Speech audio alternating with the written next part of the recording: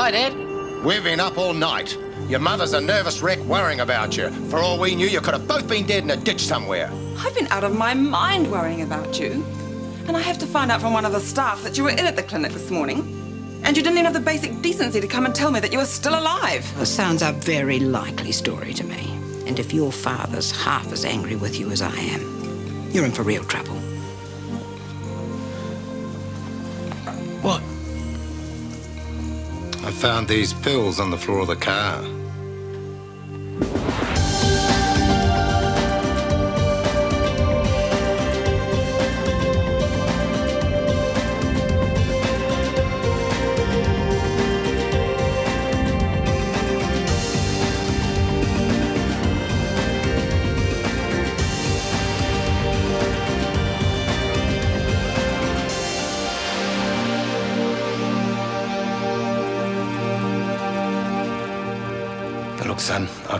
Around a bit. I know what you young blokes get up to. But just learn to use your brains, will you? You're playing with drugs, booze, and cars, and you've got a recipe for bloody disaster. I've seen more smashed up kids than you've had hot dinners, and I'll tell you what, it's not funny. Yeah, I know, Dad. I'm sorry. All right, all right. If your mother knew what you're up to, she'd have a fit. You're gonna tell her? No, but I reckon I'll have a word with Jenny. If that Nick was my son, he'd get a good clip round the ears. He's learned his lesson. We both have. How about letting me talk to him? I don't know what good that'd do. The little twerp needs to be told a thing or two. I'll make sure he gets the message, Dad. Honest.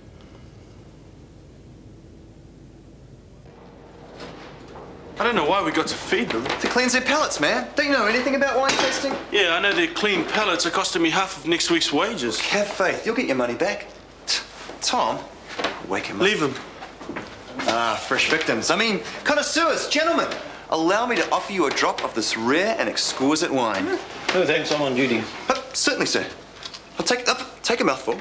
Uh, roll it around the palate a moment. Savor the fruity undertones, the hint of oak, and then spit it out. Yeah, I think we get the idea, Mr. Mills.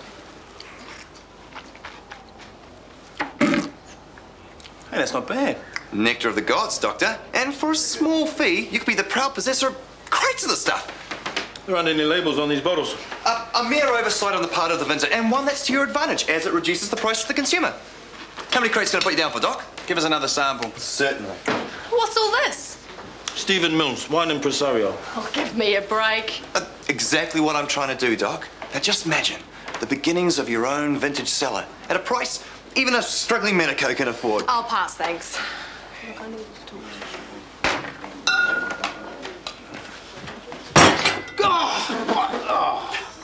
Easy, old timer. Want some grog? Plant? No, I never touch the stuff. What's the time? Gone for? Oh, Gary Stevens is coming round to my place. Gary Stevens. He's the dispatcher from Central, yeah? Yeah, he's a mate of mine. He's taking his girlfriend, Sue Hammond, away for the weekend. Ah. Marge and I are looking after a kid. Is that Libby Hammond? Yeah, that's the one. Nice little girl. Yes, I've met her and her mother. Oh, Sue's all right. Bit highly strung. Oh, you're telling me. See ya. See ya. I take it you didn't care for Mrs. Hammond. Oh, she was the one who threatened me with a complaint for putting her sweet little girl on the pill. At 13, do you wonder? I didn't know she was only 13. Hi, sexy. You owe me a night out. Gina, How many other girls have you broken dates with recently, Steve? I didn't break a date with you. No, you just didn't make it in the first place, and after you promised. Look, um, look, I'm pretty flat out right now, so Steve, I need cheering up. Some fun, a few laughs, a little wine. Maybe that can be arranged. Uh, I'll pick you up here, eh? I'll be waiting. All right. Hey, gang, what do you think? Is this stuff worth drinking or what? Hi, come in and have a drink. Oh, no thanks, Marge. We can't stop. Oh, what about you, sweetheart? There's some soft drink in the fridge. Yes, please. Good? Oh, uh, what would you like? Coke? Orange juice? Whatever. Thanks so much for taking Libby. Well, you know, she's always welcome here. Oh, I wouldn't impose, but, well, it was John's weekend to have her, and he had something come up. I suppose we could stay at home. No, we can't.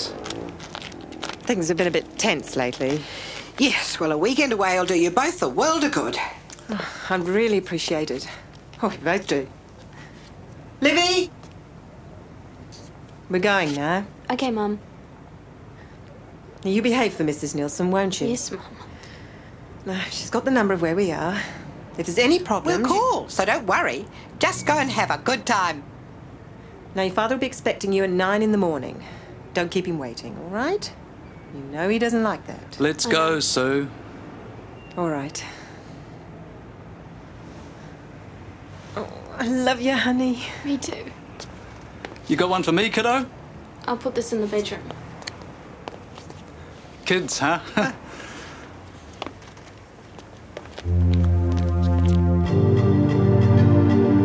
Look, Sonia McLean's convinced you woke up on the operating table.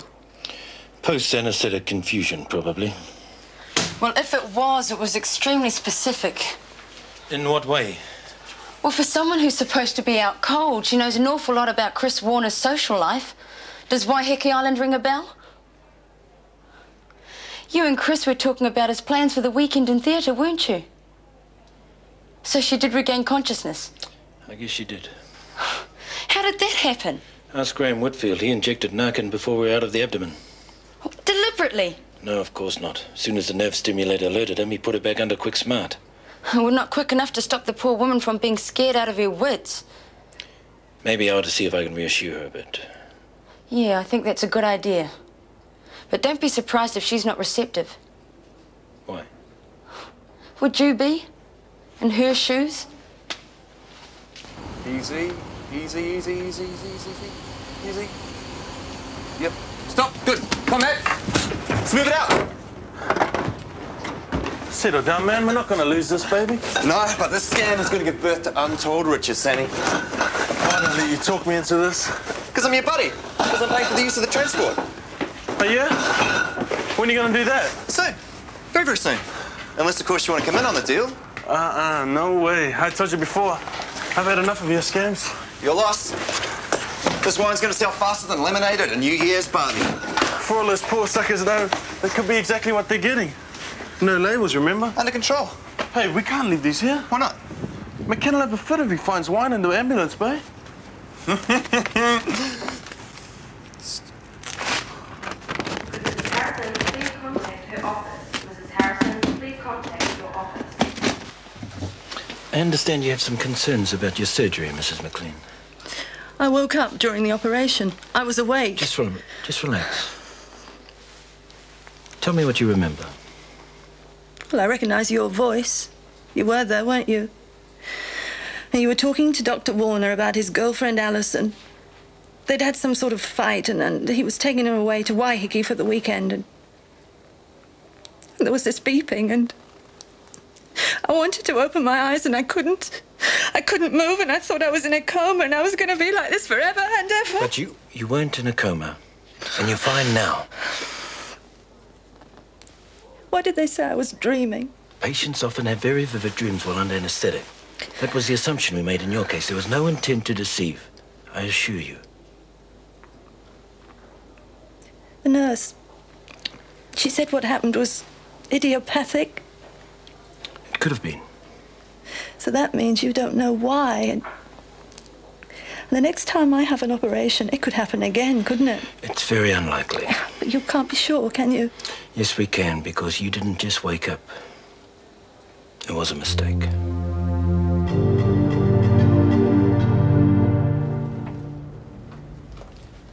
Come on, you lot. Tea's ready. About time, I'm starving. The Sooner you put the veg on the table, the sooner we eat. Can I help? Would you wake Tom up, dear, while I dish up? Mr. Nielsen, dinner's ready. Mr. Nielsen? Mr. Gotcha! Let me go! Let me go! Hey, Libby, I didn't mean to. Tom! What'd you do?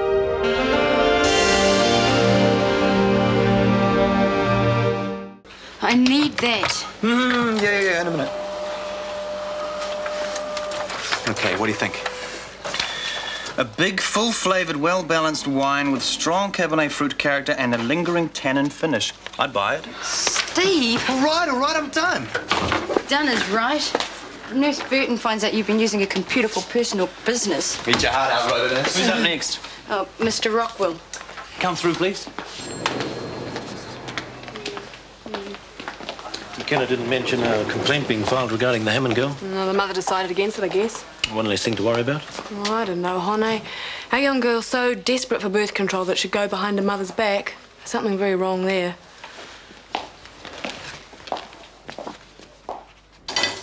Libby hardly ate a thing. Well, we all know whose fault that was. It was just a joke. I didn't mean to upset the kid. You should have thought of that sooner. Poor little mite. She's weird, you know. Nervy. Takes after mum, if you ask me. No one did. Haven't you got some homework to do? That family's got big problems. Whose fault's that? Libby doesn't like Gary. She doesn't give him a chance. Thinks the sun rises and sets on her old man. Fixated, that's what she is. Where'd you get your degree in psychology? Just passing comment. Geez, you're in a foul mood. Well, I'm tired. Besides sitting up all night last night waiting for your son to come home, I haven't had a decent night's sleep for weeks, as you well know. You're going to start on about my snoring again. I'm going to start and finish, even if I have to finish you at the same time. You're late. It's half past eight. But worth waiting for. Peg. That's why you feel, Gina. No, wait. Where are you taking me? How's my place sound? Cozy. Did you get some wine? Yeah, of course. About 20 crates, as a matter of fact. You're kidding. No? Well, as you know, I've just gone into the wine business, but there's a little teeny weeny problem. I need to label all the bottles, and I thought we could do it together. Some date. Don't be like that. Look, there's a lot more to a relationship than just party, party, party, you know? Yeah? Yeah. Like, you gotta share things, just the two of you. Like, you work a bit and you play a bit. You gotta share the good times and the bad times. Labeling wine bottles? Be a long, lonely night without you, Gina. You ready or what? Just the two of us, huh? Yeah, just the two of us and, uh, and Sammy. Long, lonely night, huh? Come on, Gina, don't let me down now. Look, I tell you what. Once all the wine sells, I'll take you out for the best night of your life. All on me. Can I have that in writing? You uh, hear those jumbos landing on the roof last night? Not funny, Stuart. You don't have to sleep in the same room with that noise. Heard from young Lisa recently. No. Pity, she's a nice girl. Drop it, Mum. Is that girl ever coming out of the bathroom? Libby! I'm going to be late. Lib! I'll come and have your breakfast, sweetheart. Tom's going to drop you at your dad's place on his way to work. Do I have to go, Mrs. Nielsen? Oh, he's expecting you, dear. I'm sick. Oh, what's the matter? You've got a headache, a stomach ache. I'm just sort of dizzy. I want to go back to bed. Morning, Docs. Late night, Sam. Ask him. Had me up till three last night pasting labels on his stupid wine. Complain, complain. I bought you pizza, didn't I? Yeah, with Gina's money. You owe us, man. Hey, um, Doc. Um, Paddy will be assisting you in theatre this morning, okay? I thought you were rostered on. Yeah, I was, but uh, we swapped. I've got a meeting with a potential customer. Do you believe this guy? We send him out to get pizza. He chats up the owner's daughter and gets an order. Maybe. I've still got to con the old man. And con being the operative word. You wound me, Dr. Fleming. Well, just don't sample too much of your own product before you come back on duty, or I will wound you, seriously. I'll help. Who's your anaesthetist this morning? Graham Whitfield. After that business with Sonia McLean? Yeah, he's still attending. That figures. McKenna's idea, I'll bet. The old boys' network really looks after its own. He saw no need to suspend him over an isolated incident. Have you had problems with Graham? Oh, not problems exactly, but he does have a reputation for being elsewhere when there's an emergency. Could be a coincidence. But injecting the wrong drug during surgery isn't. What if Sonia McLean decides to take action? I don't think there's much chance of that. You hope. Now, we hope that this mess is benign, but it's not something we can take a chance with. I've got cancer. Oh, well, we can't definitely tell from the mammogram alone. It could just be a cyst. That's a cancer. Oh, no, Sonia, it isn't. It's a lump of fatty tissue, totally harmless. Oh, good. But That's fine then. we don't know for sure. I think at this point in time, the best course of action would be to remove the mass. Operate again. I'm afraid so. It's a fairly simple. No, I beg your pardon? no, you're not operating on me again. Not after what happened last time. Oh, the gallbladder operation was a complete I was success. awake on that table. One of you made a mistake, and I was awake. Where did you hear that? Dr. Ropata admitted it. No, I'm not going through that again. Sonia, I don't think you realize the risks. If the lump is malignant and you don't have it removed immediately, I don't you could- care. You're not touching me. Not again.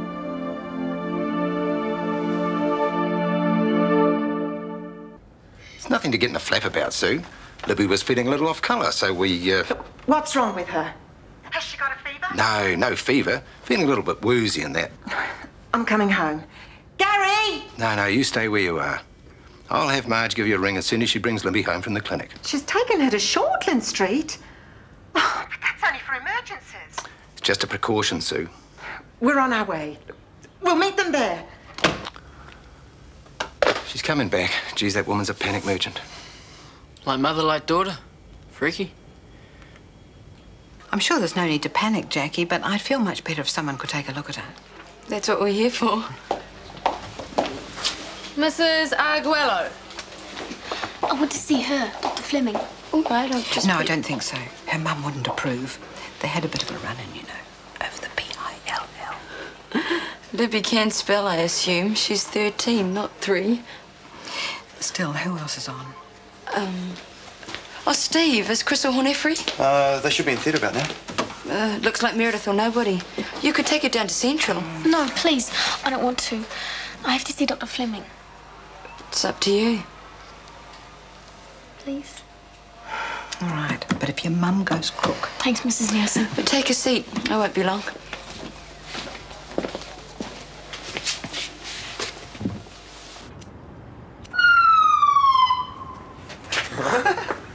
Give a man a heart attack. I keep smoking those things. You won't need my help, buddy. They calm my nerves. What are you going to be nervous about? Those for one thing. Ah, well, fret no more, my friend. The wine's sold. Every last drop. I don't believe it. The pizza joint. Mm-hmm. The old man bought it lock, stock, and cabernet. He'll take all I can supply. I don't believe this. Steve Mills, wine merchant to the masses. I've already ordered another pallet load. Hang on. Aren't you pressing your luck? Sammy, Sammy, Sammy, Sammy, Sammy, Sammy. Luck has nothing to do with it. What with the right product at last and my salesmanship, I'm gonna be rich. Filthy, champagne swilling rich. And what the hell are you doing interfering with my patients? What? Sonia McLean. Yes, I did speak to her. Yeah, after we specifically agreed to let the matter drop. What on earth possessed you? The woman was distraught. She needed reassurance. And so you reassure her by admitting a mistake during surgery. Brilliant, Doctor. I only confirmed what she already knew. She was awake, Chris. You know she was. All I know is that there was an electronic indication. It could have been a machine malfunction. You know damn well it wasn't. The woman was awake enough to be aware of the conversation that was going on around her. She told Jackie and I very specific details. Well, maybe she couldn't remember the number of the room you and Allison were supposed to be in, but she wasn't far off. Okay, okay, maybe she was awake, but telling her about it hasn't done any good. In fact, it's done a fair bit of harm. Oh, here we go again. Let's maintain the old medical myths. Doctor is God and all that. May work for you, Warner, but it doesn't work for me. It's our responsibility to tell the patient the truth. Yeah, even when the truth might kill them. Oh, come off it. Sonia McLean has a lump in her breast. I can't be certain yet, but there's a good chance it's malignant. And thanks to you and your version of the truth, the woman is too frightened to undergo more surgery. If she doesn't have it, Any pain there? No. All right, you can sit up now. Okay. No fever, no abdominal discomfort. Any vomiting? Diarrhea? I feel better now. Libby, how are things at home? Okay. No problems with your mum or school? No. What do you want to know for? Well, I can't find anything physically wrong with you. But sometimes when you're upset or stressed out, it can make you feel sick.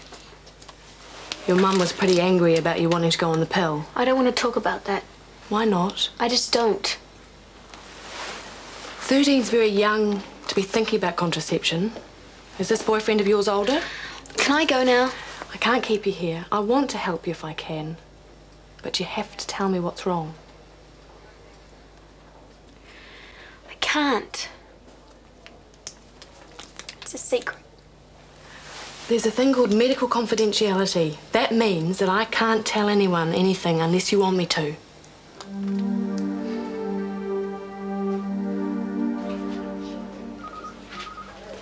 You were right mad. You look a bit tired. Marge, where's Libby? Is she all right? Sue, what are you doing here? Oh, I spoke to Tom. We got here as soon as we could. It wasn't really necessary. I tried to tell her she's a, a little overprotective.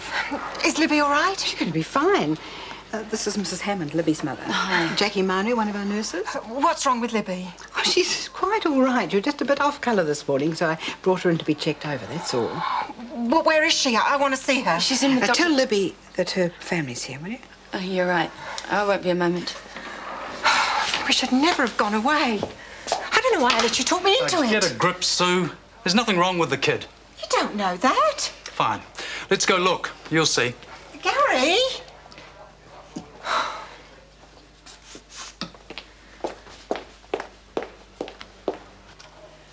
Sometimes an older boy can pressure a younger girl into doing things she doesn't want to do. Is that what happened when you came to see me about the pill? No. Willie said I could have a new dress if I did it. Well, that was generous of him. He's really nice when I'm good. What happens when you're not? Does he hit you? Sometimes. That's not on, Libby. He shouldn't ever hurt you.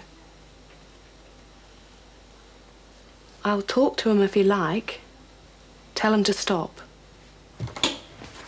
Excuse me, Libby, your parents are here. Could you tell them to wait outside, please? Sure. What's all this about you being sick?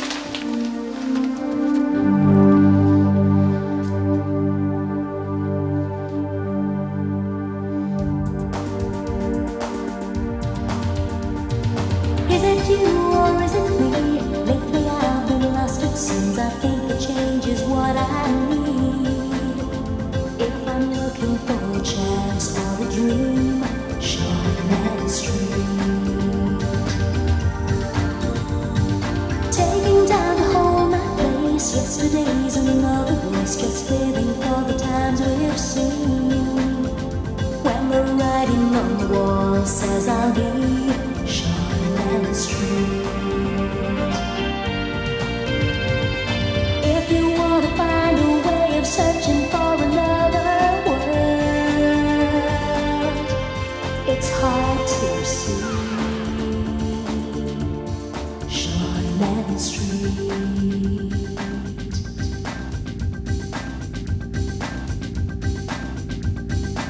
This program was made with the help of your broadcasting fee, so you can see more of New Zealand on air.